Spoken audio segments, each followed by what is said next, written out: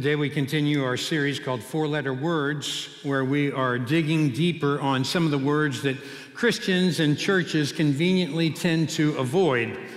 And these are words which may not be very popular because we oftentimes find them rather convicting to ourselves and also to our culture. In the first week, the word was fear. And if you missed last week, we talked candidly about the place called hell. You can end up there by rejecting Jesus Christ.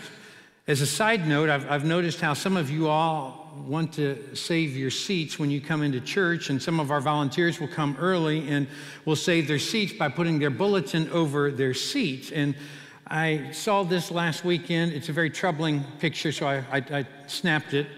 Um, I don't know. I just, I don't think I want you to save me a seat. Uh, but when I saw it, I just thought, that's crazy, you know? but this week, we, we turn our attention toward the word holy. It was Eugene Peterson who said, In our kind of culture, there is a great market for religious experience in our world, but there's very little enthusiasm for the patient acquisition for what earlier generations of Christians called holiness. Here's what I hope that you will glean from our time together Christians must pursue holiness instead of retreating from it. That's what we're to do. We are to pursue holiness instead of retreating from it. I want you to take your Bible out. There's one right in front of you. If you, if you don't have yours, look on your phone, look on your Bible. There's one right in, right in front of you. And uh, turn to the last book of, of the Bible, which is Revelation. When you find Revelation 1, I'm going to have you go 10 pages, 8 to 10 pages back, because we're going to end up in 1 Peter chapter 1. So go to the end of your New Testament. I like hearing those pages turn. 1 Peter chapter 1, and I'm just going to have you all read this passage with me at all of our campuses. I'm going to have you read this passage with me uh, out loud together. Okay? We'll begin with verse 14. As obedient children, do not conform to the evil desires you had when you lived in ignorance.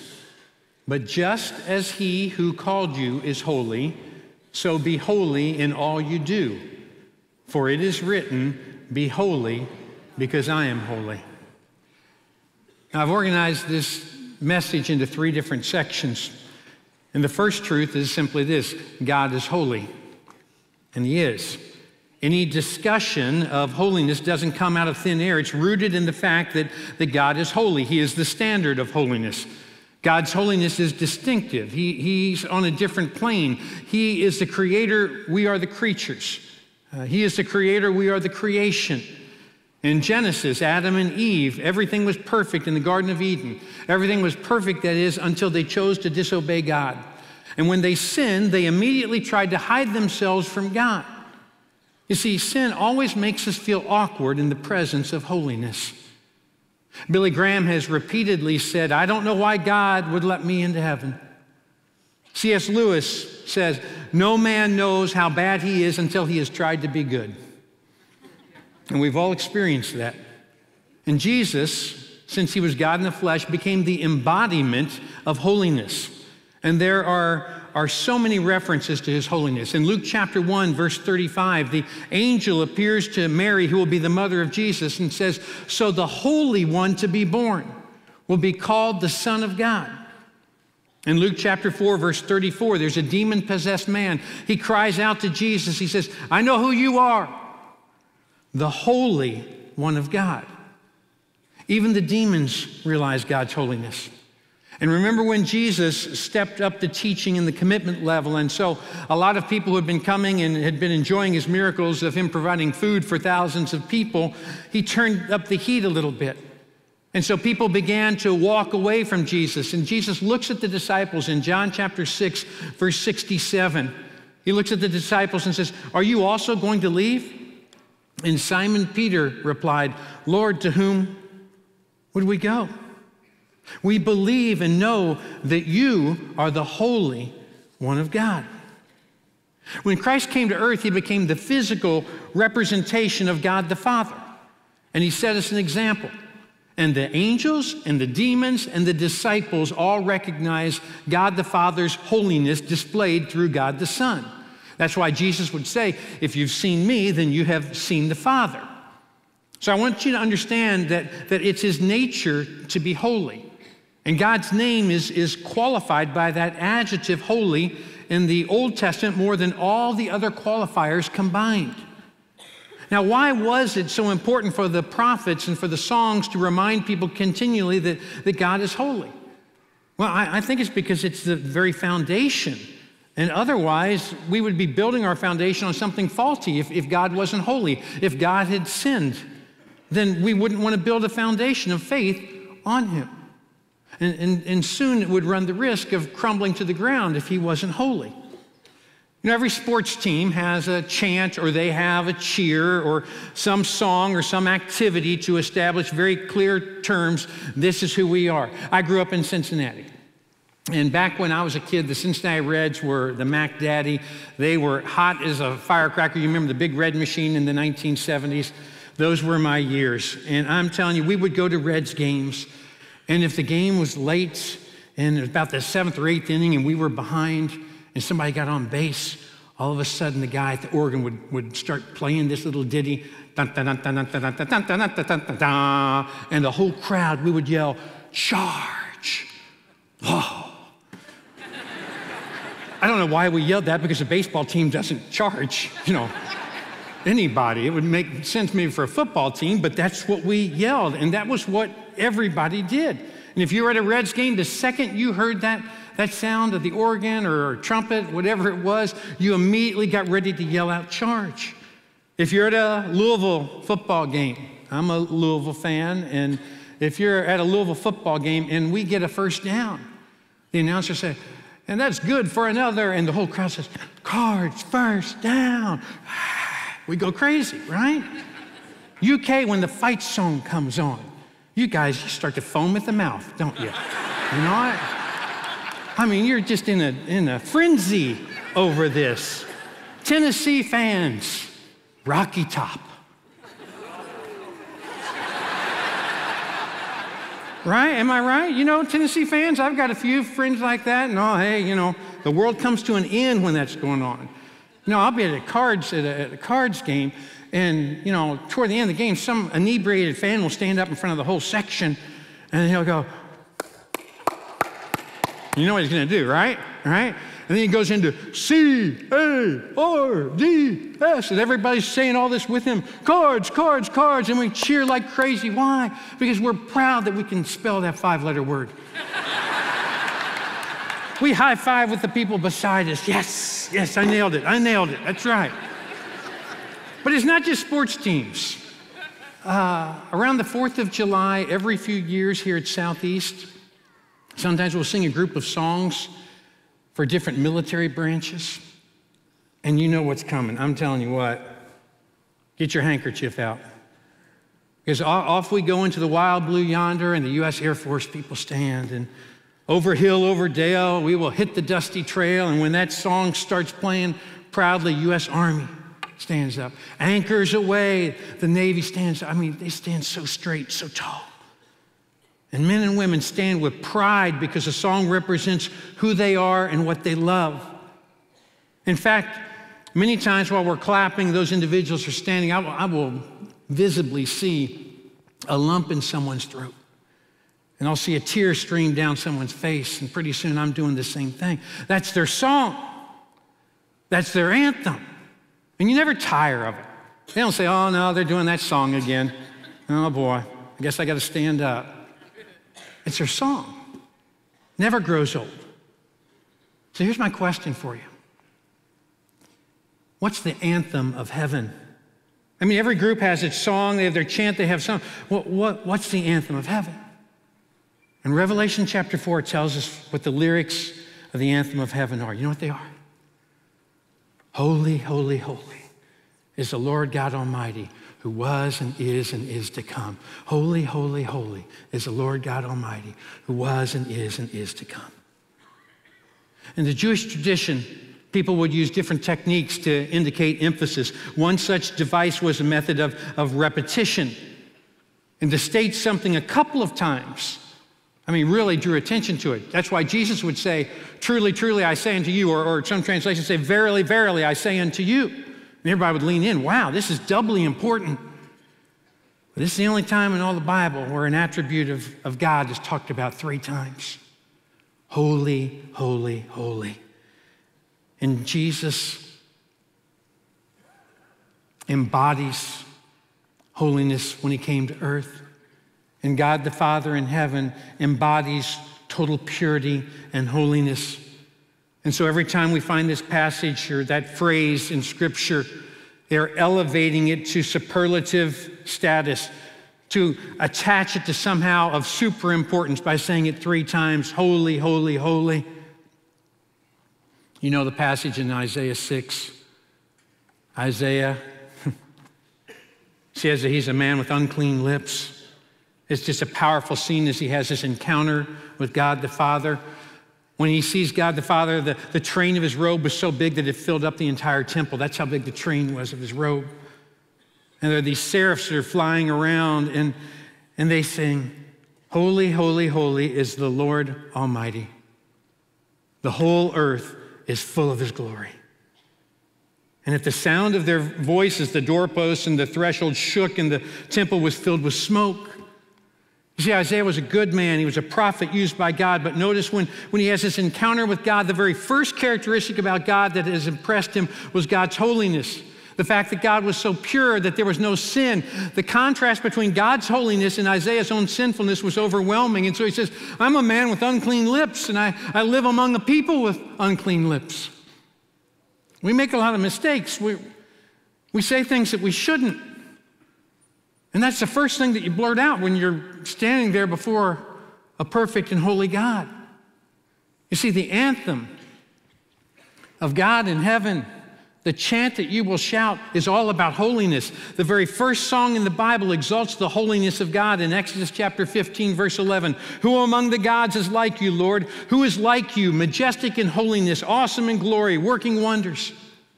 The last song in the Bible found in Revelation chapter 15, verse 4, says, Who will not fear you, Lord, and bring glory to your name, for you alone are holy. And so the Bible has this bookend of, of, of God's holiness, which, by the way, is, is this attribute that he continues to drive home by saying, Holy, holy, holy. So God is holy. But secondly, get this God commands us to be holy. All throughout 1 Peter, Peter talks about our holiness that is based in the, in the fact that God is holy. And if we're going to be his people, we should look and act like him. Look back again in your Bible at 1 Peter chapter 1, verse 15. But just as he who called you is holy, so be holy in all you do. So not only is God holy, but he has bought us with a very high price, the, the death of his holy son. And so we, we should not live empty lives chasing the things of this world when we've been bought at an eternal price. But when it comes to holiness, our tendency is to sing about it more than we talk about it. And if we were completely transparent, there are many Christians who have no desire to have the word holy as a descriptor of their life. And they are merely Christians in name rather than actions. And to them, holy is just a four letter word which carries a negative connotation. They say, Well, I don't want to be labeled with that. I don't want to be a holy Joe. I don't want to be a holy roller. And I don't want to be holier than thou. And while all of those phrases contain the word holy, they are far away from the biblical meaning or use of holy. We've all heard people incorrectly identify holiness with, with legalistic and self righteous behavior, an attitude that makes everyone else feel like they are inferior. But that's not, That's not what holiness is. Holiness means this here's a definition for it it means to be separate from evil and set apart for God. That's really what it means. So let's, let's look at that, for we need to rescue the term holy from such misuse and abuse. Impurity calls out for us, and, and, and we need to run in her direction. 1 Thessalonians chapter 5, verse 22 says, avoid every kind of evil. And then that second component shows that, that after we remove ourselves from evil, that we move in the direction of godliness. And we see ourselves and our actions as being set apart. We have, we have a higher calling, not in a holier than thou sense, but, but in hopes of pointing people to Christ. 2 Corinthians chapter 7, verse 1. Since we have these promises, dear friends, let us purify ourselves from everything that contaminates body and spirit, perfecting holiness out of reverence for God. So just stop and think what do you need to purify yourself from that, that could contaminate you and keep you from, from holiness? Perhaps you, you need to take a break from the coffee group that has become more divisive rather than unifying become more negative rather than positive. Maybe you need to find a different group with whom to spend your Friday nights. Perhaps it's a different group that you, you work out with. Maybe you need to fast from social media because it has become a tool to either feed your ego or to damage your self image. Some Christians try to immerse themselves in the culture and they want to get as close to sin as they possibly can. It seems like they're, they're trying to get as, as close to ruining their life without actually doing it.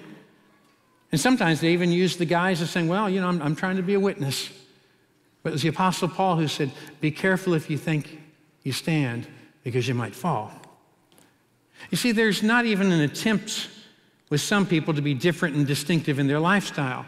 But a holy person doesn't isolate himself or herself from the world and have no contact with those who aren't Christians. On the contrary, the holy person is in the midst of that setting and they're trying to make goodness and holiness attractive. Now, granted, I, I, understand this can be a very fine line to make certain that you're having more of an influence in bringing people up rather than they're having an influence in, in bringing you down. So I, I understand that. But being holy doesn't mean that you, you leave your job and you go up and that you live on top of a mountain all by yourself. What it means is that God has planted you to be the, uh, the salt of the earth and the light of the world, that you strive to be holy and you strive to guide people to the one who is holy. And if we can change the way we think about holiness, it might just change more than our definition of the word, it might change the world. So we need to try. We're not called to stay away from God out of fear of being imperfect, and we're not, we're not called to stay away from the world out of a fear of getting dirty. We're called to approach God, receiving forgiveness that enables us to be holy and then fulfill His purpose. That's holiness. So please don't be flippant when it comes to the way you view holiness or the way that you view righteous behavior. This week in, at our home, in our, our Love Where You Are group, we were talking about our different church experiences that we'd had growing up. And one guy who grew up in a very rough environment shared that the church he attended some with some relatives as a kid, uh, a lot of the people, he said, on Sunday, they put on a really good act. And he said they played the role of being a Christian. Then he went on to say, but then when, when it was later in the week and they weren't at church, he said they would, they would offer me money to run some drugs for them. He said this he said, so Sunday was the only day that they were holy. But that's not holiness. That's not consistency. It's playing a part, it's playing a role rather than pursuing a lifestyle. Coming to church doesn't make one holy any more than going to a hospital makes you a doctor.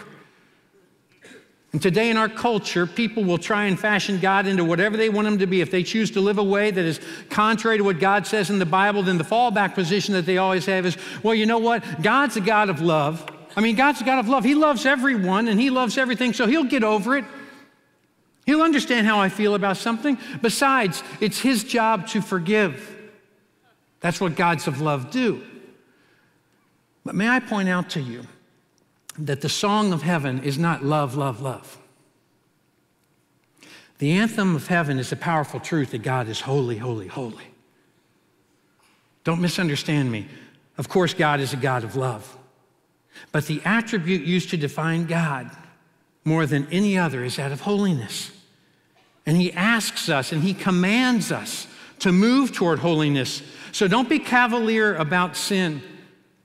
And don't say that I, I, tried to make some changes, but I'm not really good at following through, and I probably should do this or I probably should do that. No, this is serious stuff. If you don't believe me, Hebrews chapter 10, verse 26 and 27. If we deliberately keep on sinning after we have received the knowledge of the truth, no sacrifice for sins is left, but only a fearful expectation of judgment and of raging fire that will consume the enemies of God. That's a pretty strong reason to run toward holiness rather than retreat from it. God is holy. God commands us to be holy. And thirdly, God helps us become holy. Look back in your Bible at 1 Peter chapter 1 at verse 23. It says, We have been born again through the living and enduring Word of God. So, God's Word shows us the way to holiness and to the lifestyle of salvation. God's Word reminds us who we are and who has called us. Ephesians chapter 1, verse 4 says, Long ago, even before he made the world, God loved us and chose us in Christ to be holy. He chose us to be holy. He wants us to be holy. And God never gives us an expectation without equipping us so that we can accomplish it. And Peter continues his line of thinking in, in the second chapter, and he says that the goal of our being holy is so that people will see God through our lives and that they will glorify him. So we're not just holy just for the sake of being holy. We're holy in order to point people to our holy God. We are imitating the one who we want others to discover. But we've got to want it. We began this message by establishing how, how holy God is. But our problem is that we've chosen the wrong role models in life. God says, I'm holy, so you follow me, and you be holy. But we have a hard time following in those footsteps, and so we tend to pick people to follow who we have a different criteria for. And holiness isn't usually one of them. We can choose to imitate God or we can choose to imitate man, and more times than not, we choose to imitate man. You know, in 1977, when Elvis Presley lived, was alive, 1977, there were 34 professional Elvis impersonators. In 2002, there were 16,122. Today in America, there are 92,000 Elvis impersonators. That means that at the current rate of increase in the year 2049, one out of every eight people will be a professional Elvis impersonator. Okay? So look around in your row, look up and down it. Who's it going to be, right? You can't be sure. You never know who it might be. Um,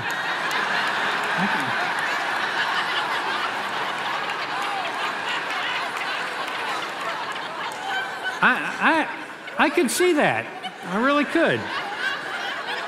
I don't know though. Kyle, he's he's not a fan.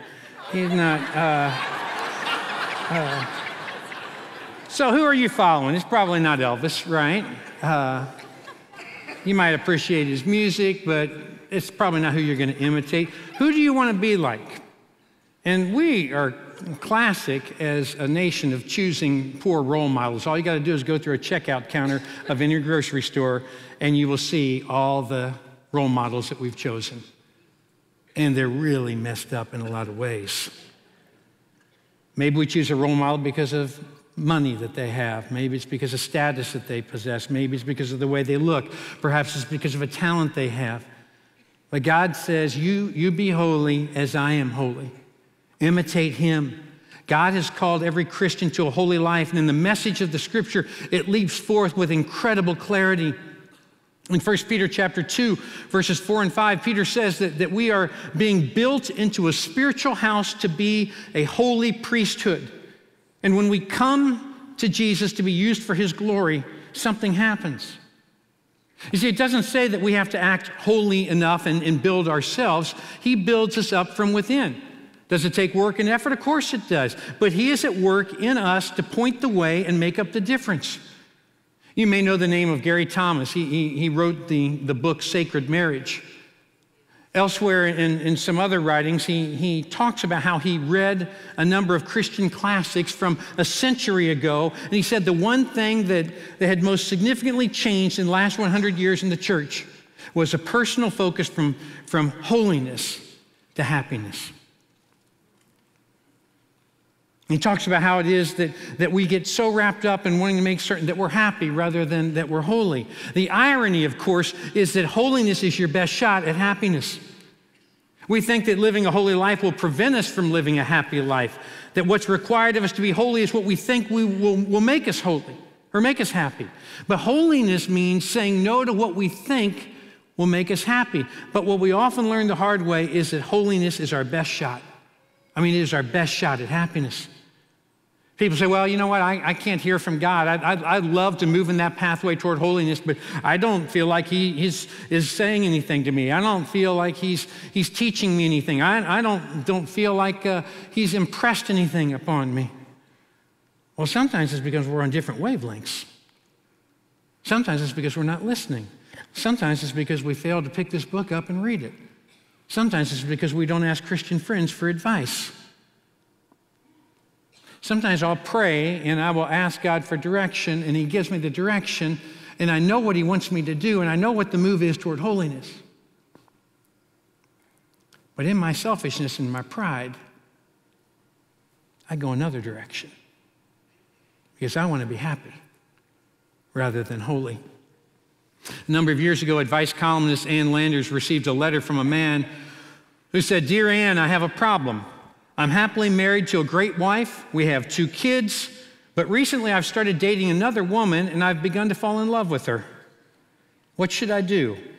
P.S. Please don't give me any of that morality stuff. And Ann Landers tried to restrain herself and wrote back and said, Dear sir, the only difference between human beings and animals is morality. I suggest you consult your local veterinarian. We like that, you know? But we can be so steeped in our own selfish and sinful agenda that we just disregard God's word and we think that God's silent when really it's that we don't want to hear what he has to say and our mind is already made up.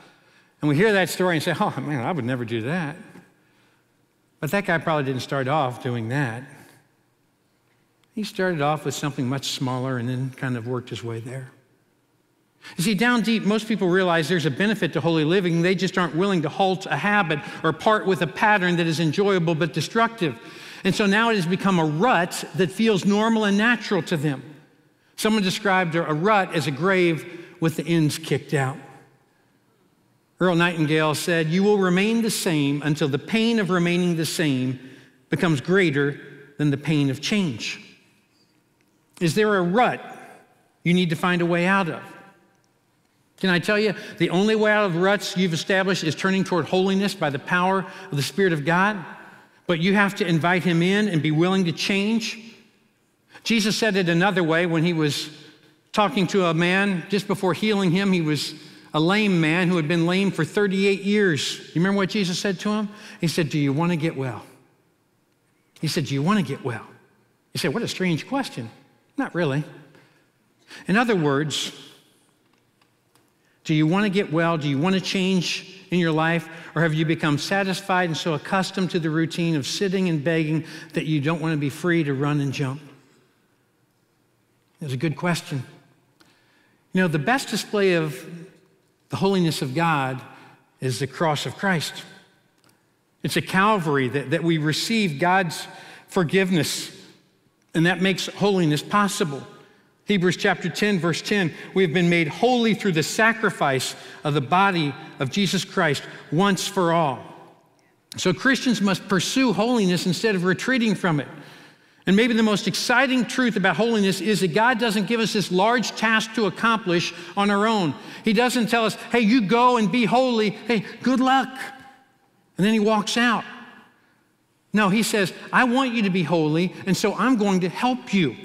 I'm going to give you the Holy Spirit to live inside of you. And the more you listen to Him and spend time with Him and do what He says and let Him mold you into the image of Christ, the more holy that you're going to become. You don't have to do this on your own. So stop trying.